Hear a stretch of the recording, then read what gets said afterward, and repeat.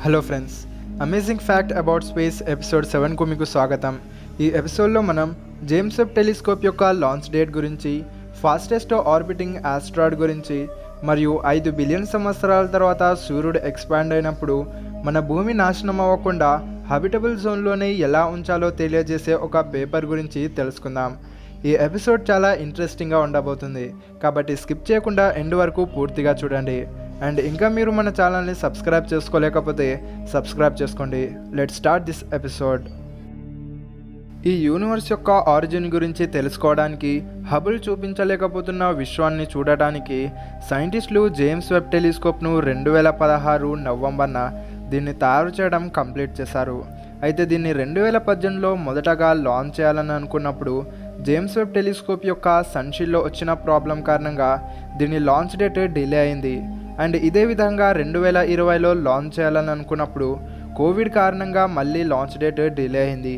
అయితే రీసెంట్గా James Webb telescope యొక్క ఫైనల్ టెస్ట్ కంప్లీట్ అయిందని రెండు వేల ఇరవై ఒకటి అక్టోబర్ ముప్పై ఒకటిన అంటే ఈ సంవత్సరం అక్టోబర్ ముప్పై ఒకటిన లాంచ్ చేయబోతున్నారని ఆగస్టు ఇరవై ఆరున నాసా మరియు ఈసా అఫీషియల్గా అనౌన్స్ చేశారు.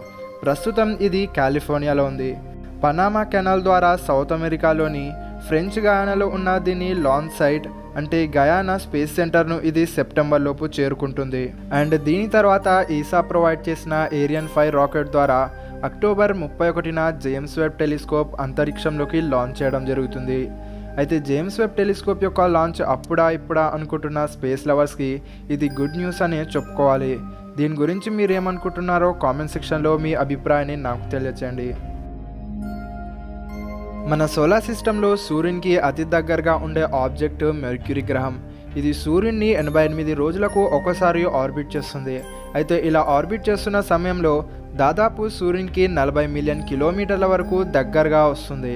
కానీ twenty twenty one PH twenty seven అనే కొత్తగా డిస్కవర్ చేయబడ్డ ఆస్ట్రాయిడ్ సూర్యుని ఆర్బిట్ చేస్తున్న సమయంలో మెర్క్యూరీ కంటే సూర్యునికి ఇరవై మిలియన్ కిలోమీటర్ల వరకు దగ్గరగా వస్తుంది. అయితే యూనివర్స్ ఎక్స్పాన్షన్ని స్టడీ చేస్తున్న డార్క్ ఎనర్జీ కెమెరా ద్వారా ఆగస్టు పదమూడున ఈ ఆస్ట్రాయిడ్ని డిస్కవర్ చేశారు. అయితే ఈ విషయాన్ని కార్నీజియా ఇన్స్టిట్యూషన్ ఫర్ సైన్స్ అంటే సిఐఎస్కు చెందిన ఆస్ట్రోనామర్స్ దీనికి సంబంధించిన పేపర్ని పబ్లిష్ చేశారు. అయితే ఈ ఆస్ట్రాయిడ్ని పూర్తిగా స్టడీ చేయకముందే మన వ్యూ పాయింట్ నుండి సూర్యునికి ఇది వెనుక వైపు వెళ్ళిపోయింది. ఇది మళ్ళీ రెండు వేల ఇరవై రెండులో మన వ్యూ పాయింట్లోకి వచ్చే అవకాశం ఉందని సైంటిస్టులు చెప్తున్నారు. అయితే ప్రస్తుతం ఉన్న డాటా ప్రకారం ఇది మార్స్ మరియు జూపిటర్ గ్రహాల మధ్యలో ఉన్న మెయిన్ ఆస్ట్రాయిడ్ బెల్ట్ నుండి వచ్చి ఉండవచ్చని అంచనా. కానీ దీని ఆరిజిన్ మాత్రం కైపర్ బెల్ట్ అయి ఉండవచ్చు. అంటే సూర్యుని ఆర్బిట్ చేస్తున్న సమయంలో ఆస్ట్రాయిడ్ బెల్ట్ జూపిటర్ గ్రహం యొక్క గ్రావిటీ కారణంగా ఇది ఆస్ట్రాయిడ్ బెల్ట్లో ట్రాప్ అయి ఉండవచ్చు అని అంచనా. కానీ ఈ ఆస్ట్రాయిడ్ యొక్క ఆర్బిట్ స్టేబుల్గా లేదు. కొన్ని మిలియన్ సంవత్సరాల తర్వాత మిర్క్యూరీ వీనస్ లేదా సూర్యునితో ఢీకొనే అవకాశం ఉందని ఆ పేపర్లో వారు పబ్లిష్ చేశారు. అయితే సూర్యునికి అతి దగ్గరగా ఈ ఆస్ట్రాయిడ్ వస్తూ ఉంటుంది కాబట్టి సూర్యుని గ్రావిటీ కారణంగా దీని స్పీడ్ చాలా ఎక్కువగా ఉంటుంది. అందుకోసమే ఫాస్టెస్ట్ ఆర్బిటింగ్ ఆస్ట్రాయిడ్గా సైంటిస్టులు దీన్ని చెప్తున్నారు.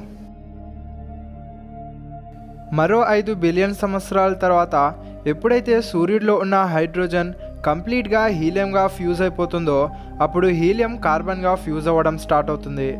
సో ఆ ప్రాసెస్లో రేడియేషన్ చాలా ఎక్కువగా రిలీజ్ అవుతుంది కాబట్టి సూర్యుడు దాదాపుగా ఒక ఆస్ట్రానామికల్ యూనిట్ రేడియస్ వరకు ఎక్స్పాండ్ అవుతాడు. అంటే భూమి ఆర్బిట్ వరకు ఎక్స్పాండ్ అవుతాడు. సో ఆ సమయంలో భూమి సూర్యునిలో కలిసిపోతుంది కాబట్టి భూమిపై ఉన్న జీవం అప్పుడు నాశనం అవుతుంది అయితే రీసెంట్గా నాసాకు చెందిన ఎక్స్ సైంటిస్ట్ డేవిడ్ హల్స్ ఒక పేపర్ని పబ్లిష్ చేశాడు. అందులో జూపిటర్ యొక్క గ్రావిటేషనల్ ఎనర్జీని మనం యూస్ చేసుకొని అర్త్ ఆర్బిట్ని పెద్దది చేస్తే అంటే ఇంక్రీజ్ చేస్తే సూర్యుడు ఎక్స్పాండ్ అయినప్పటికీ భూమిని హబిటబుల్ జోన్లోనే ఉంచవచ్చని దానిలో అతను వివరించాడు. అయితే ఇలా భూమి ఆర్బిట్ని పెద్దది చేయడానికి చంద్రుని సైజులో zero point zero one percent size ఉండే ఒక ఆస్ట్రాయిడ్ని ప్రతి ఆరు వేల సంవత్సరాలకు ఒకసారి భూమికి జూపిటర్కి మధ్యలో వెళ్ళేలా చేయాలి. ఈ విధంగా ఆ ఆస్ట్రాయిడ్ని భూమికి దగ్గరగా ఒక బిలియన్ సంవత్సరాల వరకు వెళ్ళేలా చేస్తే భూమి యొక్క ఆర్బిట్ అనేది చాలా పెద్దదవుతుంది. సిమిలర్గా ఇలాంటి టెక్నిక్ని యూజ్ చేసే భూమి వైపు వచ్చే ఆస్ట్రాయిడ్స్ యొక్క డైరెక్షన్ని స్పేస్ క్రాఫ్ట్ ద్వారా చేంజ్ చేయడానికి సైంటిస్టులు ప్రయత్నిస్తున్నారు. సో ఇది వినడానికి విచిత్రంగా ఉన్నప్పటికీ టెక్నాలజీ ఉంటే ఇది సాధ్యపడుతుంది. అండ్ ఇంకా మనకు మూడు నుండి నాలుగు బిలియన్ సంవత్సరాల సమయం ఉంది కాబట్టి అంతకు మించిన టెక్నాలజీ మన దగ్గర ఉంటుంది. ఈ విధంగా మనం జూపిటర్ యొక్క గ్రావిటేషనల్ ఎనర్జీని యూజ్ చేసుకొని భూమి ఆర్బిట్ని పెద్దది చేయవచ్చు.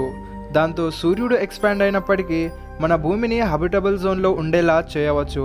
అయితే ఈ మెథడ్తో చాలామంది సైంటిస్టులు ఏకీభవిస్తున్నారు. అండ్ స్వయంగా నాసా ఈ పేపర్ని పబ్లిష్ చేసింది. సో ఈ పేపర్ గురించి మీరు ఏమనుకుంటున్నారో కామెంట్ సెక్షన్లో నాకు తెలియచేయండి. అండ్ సూర్యుడు ఎక్స్పాండ్ అవ్వకముందే మన భూమిపై జీవం అంతరించిపోతుందా లేదా కామెంట్ సెక్షన్లో నాకు తెలియచేయండి. అండ్ మీరు ఇంకా మన ఛానల్ని సబ్స్క్రైబ్ చేసుకోలేకపోతే సబ్స్క్రైబ్ చేసుకొని బెల్ నోటిఫికేషన్ని ఆల్లో సెట్ చేసుకోండి. Bye bye. Thank you for watching.